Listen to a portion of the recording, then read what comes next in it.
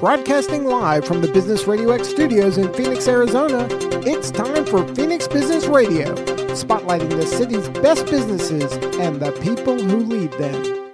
Hi there. Welcome to the podcast. We're so excited to have you on for another episode of STEM Unplugged. I'm Kelly Green, the Chief Operations Officer at SciTech Institute, a collaborative nonprofit organization making STEM connections in Arizona and beyond. In this episode of STEM Unplugged, we will be exploring STEM over the summer. Our guests are Kelly Ferguson, Education Coordinator at Lowell Observatory, Tom Fraker, CEO of Pathways to Learning, and Elise. Oh, I didn't ask you how to say it, Elise. I'm going to have to have you help me. How do you say your last name, Elise?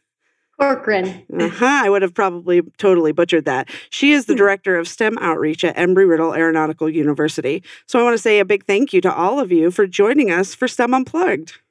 So Thanks let's for having us. Yeah, excited. So let's get right to the reason why, you know, Claire, our new team member at SciTech Institute, invited you to come to the table, literally, figuratively, since we're a little bit socially distant, you're all up north. But we really want to connect to what's happening this summer.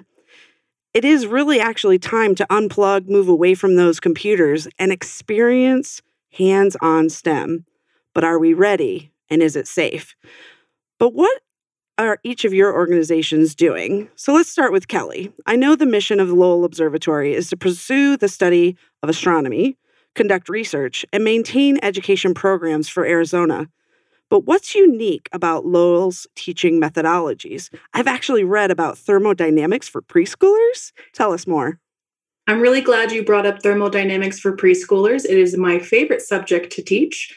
Um, it's actually this month. May is our thermodynamics. And um, the concept is nothing is too big or too complex to teach children.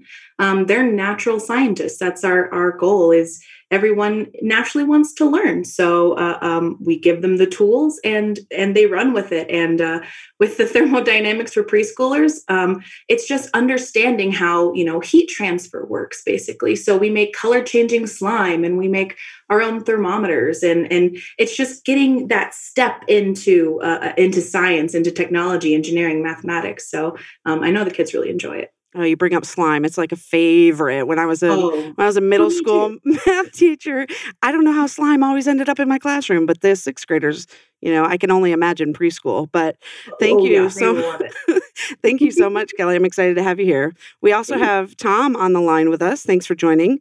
Can you tell Welcome. us a little bit about pathways to learning and how building a STEM identity is so important for all learners? Yeah, I think it's uh, important. And unfortunately, in most camp settings, uh, we don't have kids long enough to really move the needle on education in STEM. So, what we try to do, and I'm sure what Embry Riddle and NAU does, is try to give them a one of those moments in their life where they might have said, aha, I kind of know what STEM is. Uh, I kind of would like to do something like that. And so it's right you know, lighting that spark and then watching them kind of explore. And I love the scientific term that you use, doing the stuff. and the stuff is really important because they don't know it probably by another term other than stuff. Absolutely. And so um, we just try to give them stuff and things that they can grow and identify with STEM not being this uh, topic that is intimidating and only smart people can learn it and do it. That's a great point. I think that's, you know, part of why we enjoy working with all three of you is that, you know, SciTech Institute is really trying to advocate for all learners, zero to 103. You know, if you're interested, let us show you something cool. And oh, you thought it was cool? Let's show you a little bit more. so thanks for being here tonight, Tom. Um, what about you, Elise? We're excited you could join from Embry Riddle. And here, wait, actually, I'm going to pose a tough question. What do you think the greatest need for K 12 students right now? And how do you think our STEM outreach programs all together could meet this need? Absolutely. Well, I would be remiss if I didn't uh, address the break that all students have had over the COVID 19 school closures.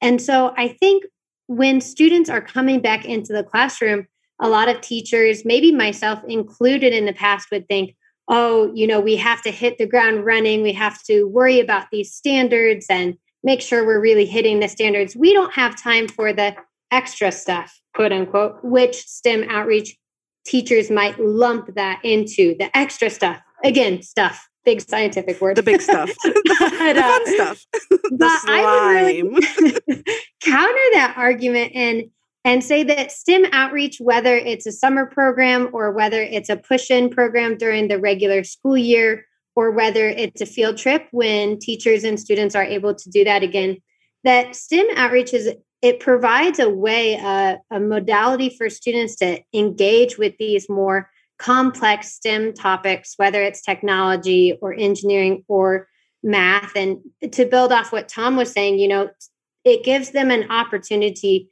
to identify themselves as a scientist, to feel successful, engaging with more complex activities in this hands on way where they can really relate with it and it makes sense to their own life because um, maybe it has a cool end result or uh, it does something, you know, it, it creates a change the greatest need I think K 12 students have right now is to really just jump back in there, start learning again in ways that make sense for the students so that they can really engage with the material and um, get get their feet wet again, get experimenting and start having fun again in an educational setting.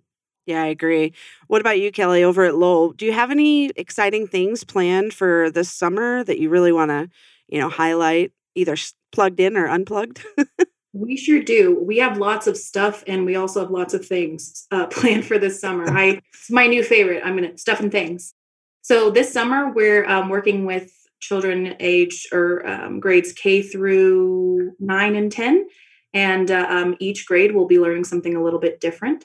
So our youngest kids will be learning about the solar system. And of course, we're at Lowell Observatory. So what better place to learn about the the universe? right. I think Um, uh, Earth is right behind you. I can see Oh, it on your then screen. yeah, our sun is right there, and then the moon. Yeah. Mhm. got it all. um, so yeah, this is actually one of the things we'd probably use, and and you let the kids um, and uh, uh, um, encourage their divergent thinking. So uh, um, the next age group we have the Milky Way, um, and we're going to learn about galaxies and our kids' favorite topic, hands down, no questions asked, black holes. And we have a whole lesson dedicated to that because even though we have 45 minutes uh, for you know quote lessons that black holes lessons always always always goes extra long because it's just a really fascinating subject. And then as we get older um, we do life on other worlds. So our final project will be sending a message out into space using a radio transmitter and then our oldest kids um, will actually become um, junior science or excuse me junior astronomers amateur astronomers. Um, we teach them how to operate telescopes how to, how um, adults grown-ups whatever do research and um, kind of get them in the in the mood for for science and and that's where we see uh, um, a lot of our love really come out is our middle school students who get to do that uh, um, get to operate telescopes get to tell stories about the sky so um, that's what makes our camp so unique I think it's really interesting that you talk about allowing them to interact with the telescopes, right? Or play with things. You know, actually, you know, learning how to respect equipment that real scientists use is probably one of the best things that teachers can do for students is put it in front of them and say, look, this Oh, is absolutely. important. This is the real tool. And let's explore, but be safe and cautious. But Tom, I think that kind of, you know, delves into your camp setting as well, is that they're doing the real science. They're dipping those, you know, items in the water at the lake and really experiencing it. That but what what's going on with um, pathways to learning this summer? Yeah, so we haven't turned the corner relative to getting kids up to camps yet. Um, it's still the fear of COVID. Yeah. Um, we do have a couple camps that center around that, but what we've done is done a pivot last year actually, and took everything that we were doing at the camp over the last eight years to thousands of kids, and we packaged it. So we repackaged it and we put all the modules, five of them in particular, around solar and water and and so on, and it's called STEM in a backpack. So we created a backpack. We put the modules, the the curriculum card, and then things for them, the stuff again Yeah, I was going to say the that they stuff. could do and the explore. and we are now um, having those be sold to schools. So we've sold roughly four thousand of them. And what I find interesting, we needed a second product iteration of that, and we created Ag in a Bag. And so now they're doing bee pollination and composting, which is, again, that is really stuff. And, and they're learning by that. And so we're delivering that now to schools for their summer programs. And we have a big uh, cargo van that looks like a log cabin on one side and it's a desert landscape on the other side. And in the inside, it looks like a laboratory. and now that's being combined with the backpacks, either ag in a bag or STEM in a backpack, and we're delivering it to school. So we're actually kicking that off next Wednesday, and we're driving down to the other end of the state, down to Tubac, wow, to a Montessori school, and we're delivering that those backpacks and those things out of the mobile STEM Discovery Lab to them. So our summer program is actually more in the city than it is at the camps just because we're not over parents and, and schools certainly jumping into camps because of COVID. We feel that'll all come back in the fall, but not right now. Yeah, that makes sense. I think the coolest part about the STEM in a backpack and the ag in a bag is is really hands on, right? Like yep. I I think the you know engaging learners especially kinesthetic learners who want to eh, touch it, feel it, experience it. You know, kind of goes back to the slime that Kelly was talking about. Why is that so important, Tom? What do you really see when you interact with educators and students that actually get to put their fingers in the stuff? so, particularly the slime, or just in general sense? Well, you know, you talked about ag in a bag, right? Eh, how many of you actually dug in the dirt. I grew up in, you know, upstate New York. When we dig yeah. in the dirt, we would find worms. You don't really find a lot of worms here in Arizona. Oh. It's not the same. There's a couple side benefits that I find interesting about looking through a telescope or doing any of this stuff. It is really therapeutic.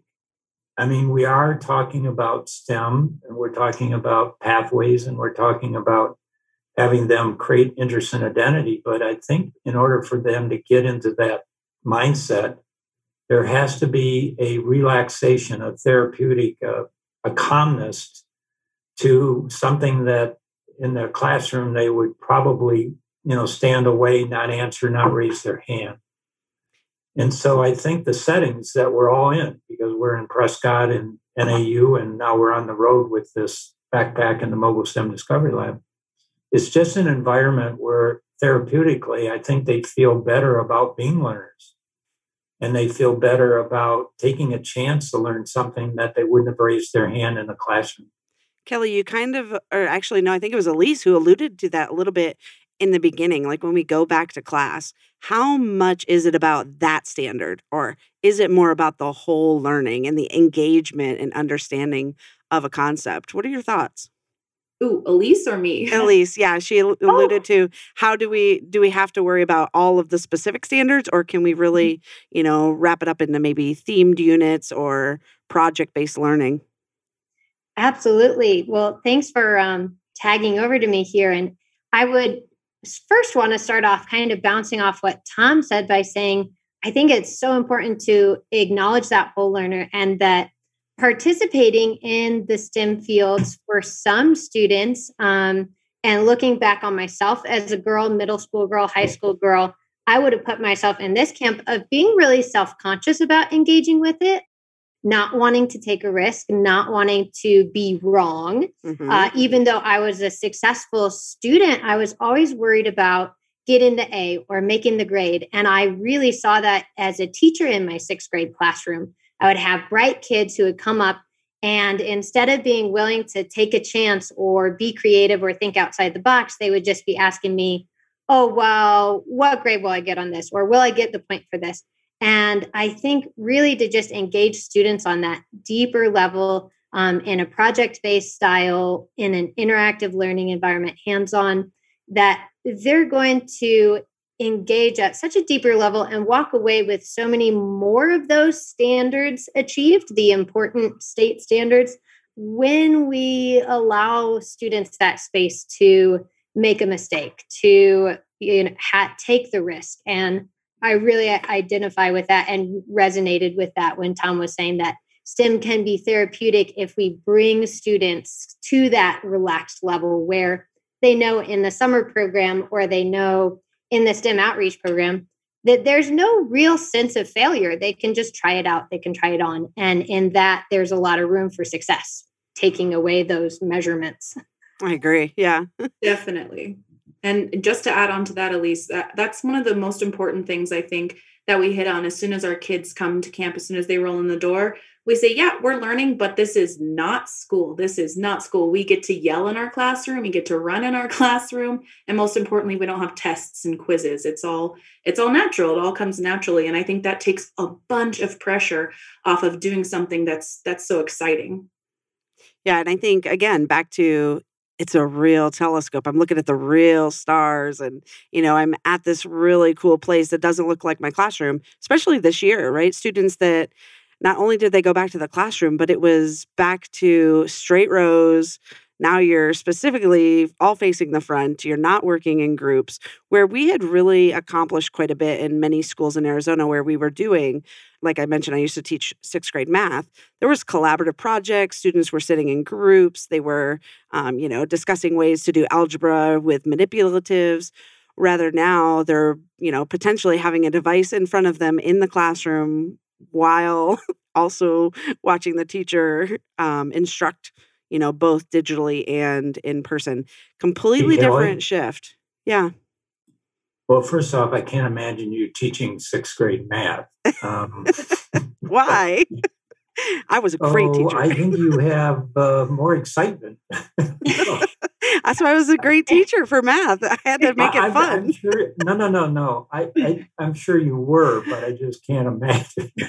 I'll but send you some pictures. I, I approve. I did want to. I did want to raise one thing. So um, we have been teaching through an instructional design that we created um, through a consultant, and we use that. We light the spark, create the experience, do the identity, and how does it relate to the real world. And about six months ago, we were introduced to a, a professor at ASU, Steve Zeicher, and we partnered with him and we came up with a teaching framework called Green Studio. And it's interesting because conceptually it ties everything together. And it's based on the fact that kids learn better in a green space backyard, park, in Flagstaff, in the mountains, in a lot of this green space. But in order to do that, we first have to be and have them uh, identify with their senses touch, feel, smell, sight. And that does relax you and that does uh, cause you to want to explore. And then they explore. But the last thing that I would also challenge us all to do is how do we continue that? Once they start a pathway, how do we build where they um, identify with something and then they um, amplify that? And so we're trying to, once they amplify their interest and identify with it, how do they connect to a hydrologist if it's around water? How do they connect to an um, astrophysicist if it's around uh, it's around space? So I think we're all doing the same thing, and I we've just brought it down to this green studio teaching framework that we're introducing to all the outdoor education STEM that we're teaching. I think that's a great point, and that's definitely the the benefit of being connected with SciTech Institute, and then of course the Arizona Technology Council, Arizona Commerce Authority, all of the businesses here in Arizona that want to prepare our future workforce now. And so they want you to talk to their engineers. They want you to reach out and talk to, you know, the hydrologist. They they're interested in getting the students connected, but also the adults, right? If you think about you know some of our adult learners that you know maybe they're in their you know 18 to 24 still haven't really decided what they want to do but even you know people in my age we won't say out loud but you know there's there's some people that might want to experience something new and stem is a great pathway here in Arizona, we're growing rapidly and there's lots of opportunities. So that's a great point, Tom. If they want to meet that hydrologist, let's get them, you know, now we can get them on a Zoom call much easier than driving them around town. But the, those companies are there. And I think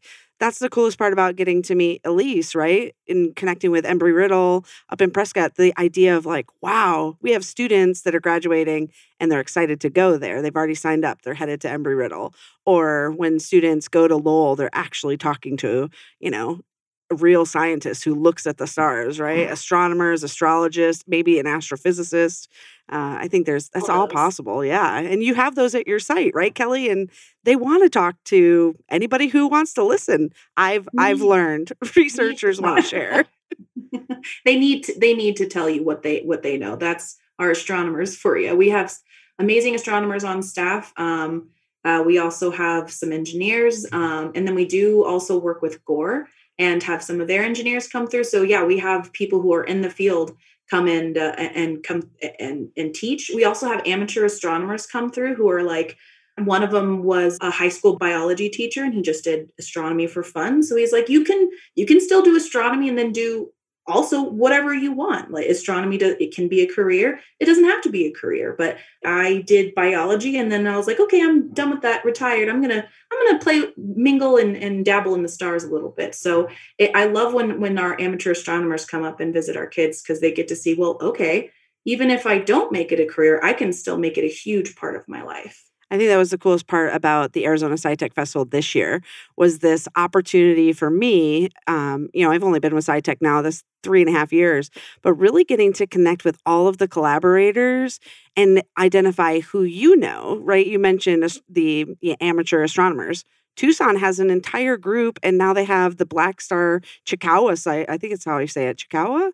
But they have these locations, Chiricahua, Chiricahua that's what it's called. See, um, but to actually meet up and hey, let's have an astronomy night with a bunch of amateurs that I would say they're pro compared to me because these oh, ginormous yeah. telescopes and they're so incredible that you know you're right. It doesn't have to be the paying job, but it could be. Who knows, right? Absolutely. And if not, it's just something for fun. It, you can do it for fun as a career. You can do it for fun as a hobby. That's that's why I like it. I loved Embry Riddle too. They made straw rockets with us during festival, and we were joking about, okay, what do you guys do for real? but they we had like a straw rocket pro give us a presentation for, during festival. I love that. But Kelly, I think the other important part is even if you're doing this as a hobby, it's all about critical thinking.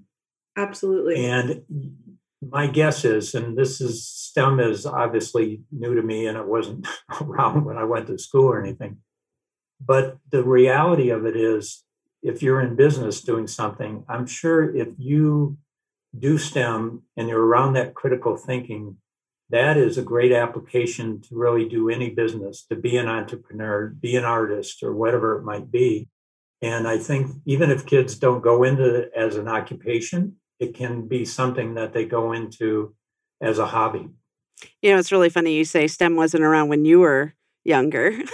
Be careful. I know. but when we think about that, that's exactly my point about engaging you know the not just the k-12 sector is really identifying and helping different generations identify with STEM because it is here. And that's what their children or their grandchildren, the neighbors' children, right? The community is talking about.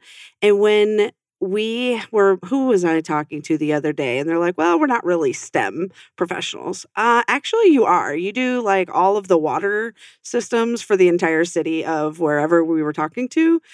That's stem. And i think that you know identifying yeah i was a farm kid so sitting cross-legged in the kitchen milking you know giving a, a baby cow a, a milk bottle so they didn't starve to death well that's stem right? You have to understand that there's there's pathways or entry points for a variety of different opportunities. But I think that's kind of why we brought you all here together today is really to focus on what are you do what are you going to do this summer? What do your plans look like, you know, in the upcoming year as we start to potentially transition right back Tom, potentially getting up there to camps and visiting locations.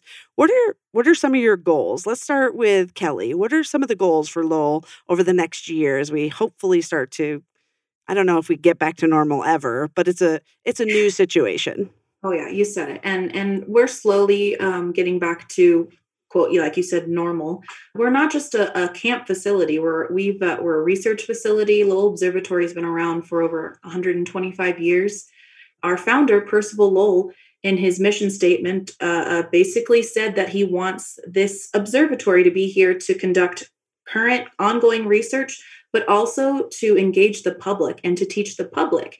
And you know, I took that as kids, meet me. I'm going to engage the kids. But our our campus, the Lowell Observatory campus up at in Flagstaff, um, has tours. Well, uh, we did before COVID have tours that you know goes through our history and and we educate people of all ages, zero to 103, like you said. And uh, um, that's I think that's what makes it super unique here. Uh, um, and I lost my train of thought. So come back to okay. I, that's why we're all here. It's a, it's a team effort. But what about you, Tom? What are some of your goals for you know pathways to learning? I know you're engaging with our chief science officers. Our goal is to collaborate a little bit more. But what are some of the things you hope for your two campsites and future connections? Well, somebody already kind of mentioned this. Uh, we have a couple of T-shirts, and they have pretty profound statements on them. One of them is uh, "May the forest be with you," and so we're really trying to create the forest to be with kids, be that green space. And the other one is uh, "No box required. Think outside." I love it.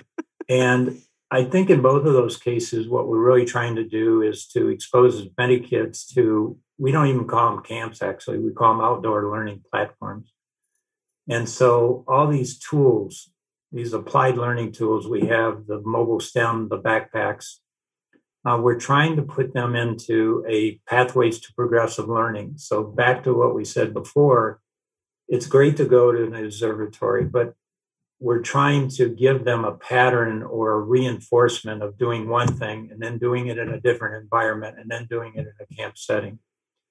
And and I so that's what we're trying to do. The other thing which is interesting is we're trying to bring STEM into agriculture and into sustainability. And so the one camp ranch is in Mayer, which is on the road to Prescott and on the road to uh, Flagstaff.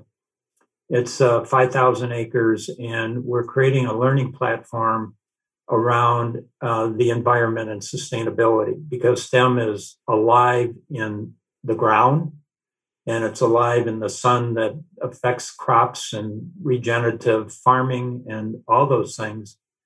And so we're those and the, the climate crisis is around all of us. And that's actually going to be part of our program. So we're really we're sticking with STEM, but we're kind of diluting STEM a little bit and putting it in other learning platforms and other things that are STEM, but they don't really know it when they're looking and they're feeling and having their hands in dirt and growing a crop or seeing the solar or the water impact uh, agriculture. I think it's really nice to think about trying it in one location, right? Learning it and then doing it in a different location and then in a new right. setting. I think that's important for, you know, gradual acceptance of any concept of oh, okay, so I, I learned about it or I read it here.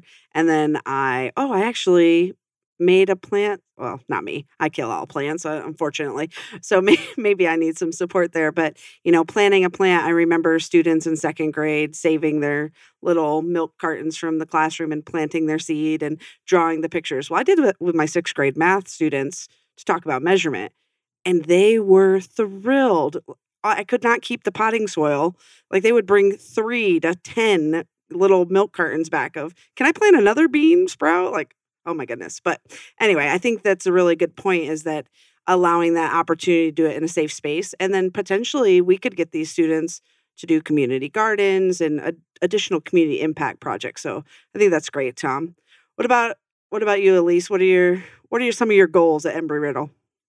Absolutely. Well, right now we're still have a model that's a lot like Tom's. We're passing out at the public library in a limited capacity what we call STEM kits.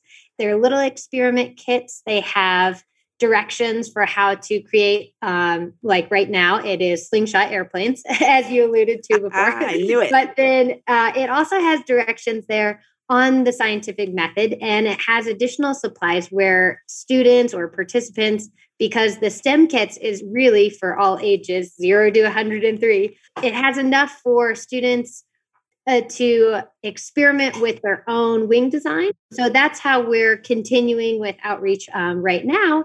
And it's been really great to see, you know, whole families come up to the table in the library, chat with Embry Riddle students. Um, the, right now, our monthly theme is aviation. So the visitors in the public library have a chance to talk with real pilots, which is exciting for is exciting. little ones and also grandpas, you know. So we really see the whole spectrum as we push out in the public in that um, small capacity, keeping the um, event small and people coming to the table one by one. And then as we move hopefully into the fall when campus opens up again, um, I'm really hoping to expand the after school clubs here.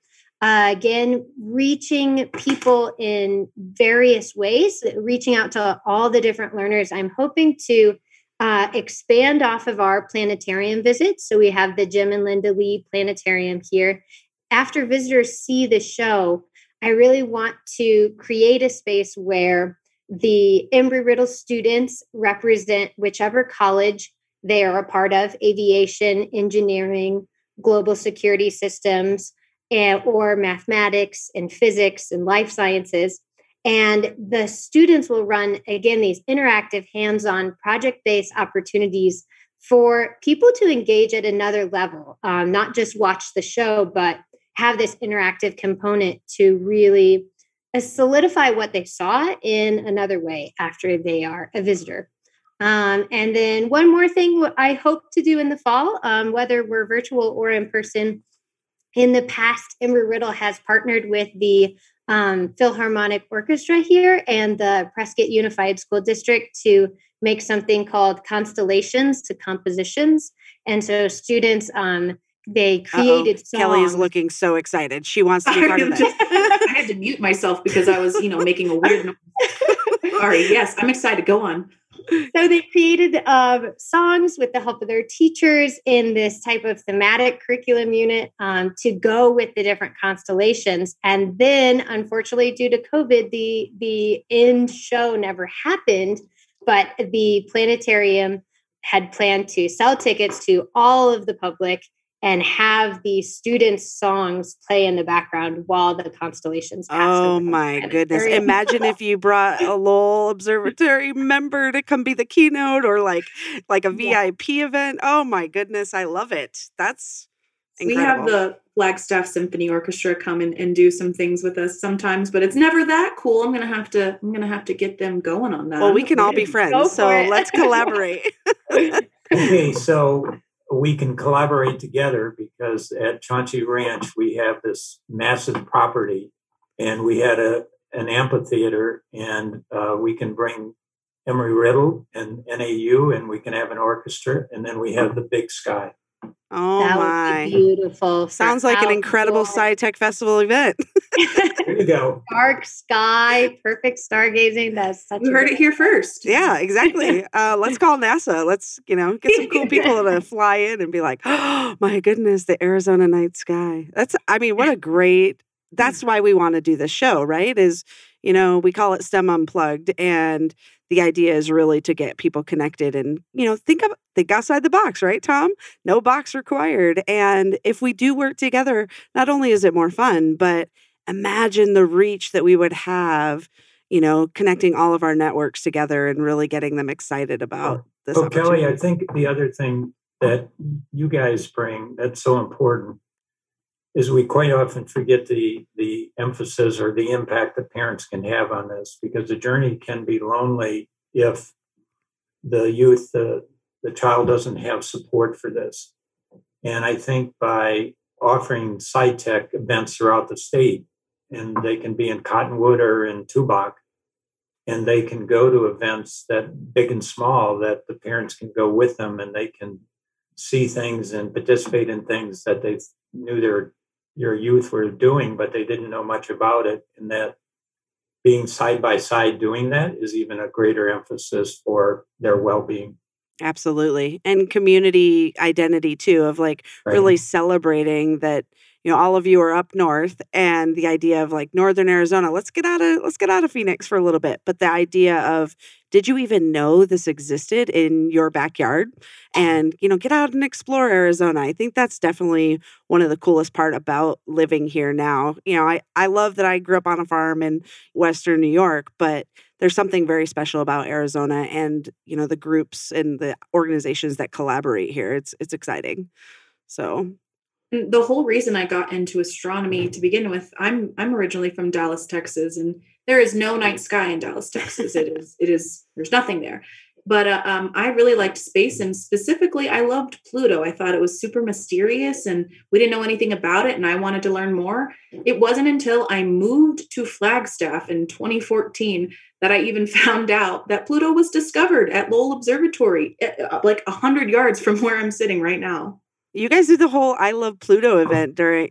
I thought that was the cutest because there were so many individuals that adore Pluto. And like there's a whole subculture there around not only planets, but Pluto. I thought that was pretty neat that you guys put that together.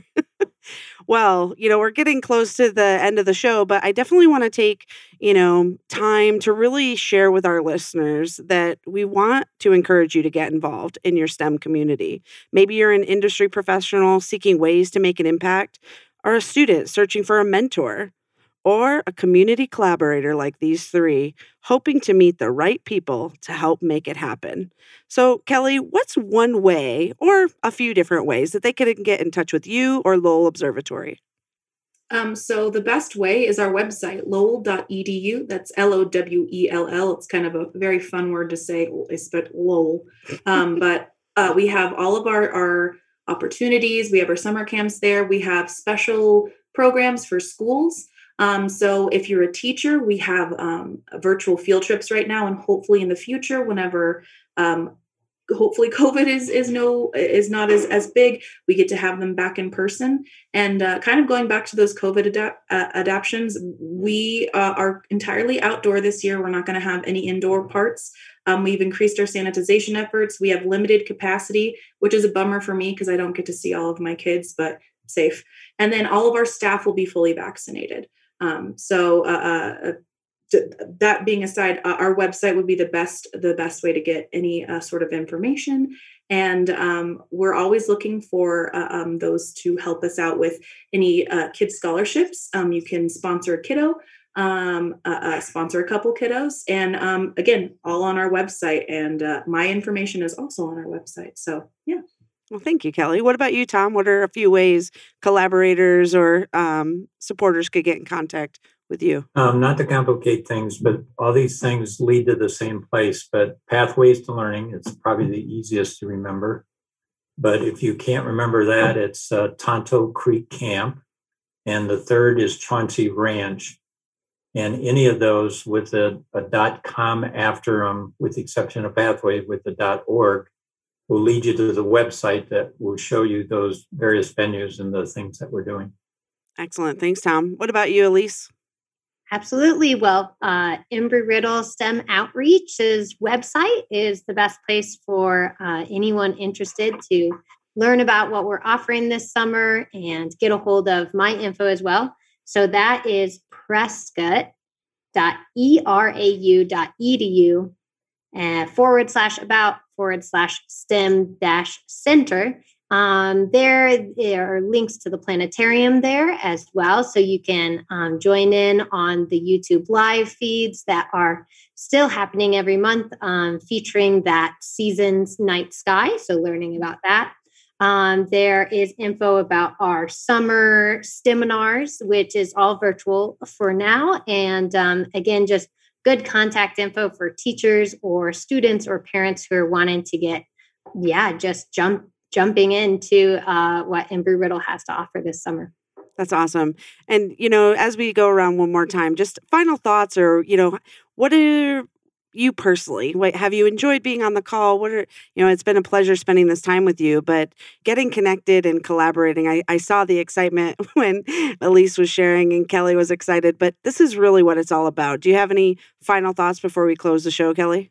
I um i just really enjoy being uh, around people who who t- kind of teach the same way that i do. It's uh, formal science or formal learning but in a completely informal setting and i think that's what makes it so exciting and so alluring is is that our philosophy of of learning is all about discovery. It's it's child centered and and it's it's great to be around community members who who think the same way.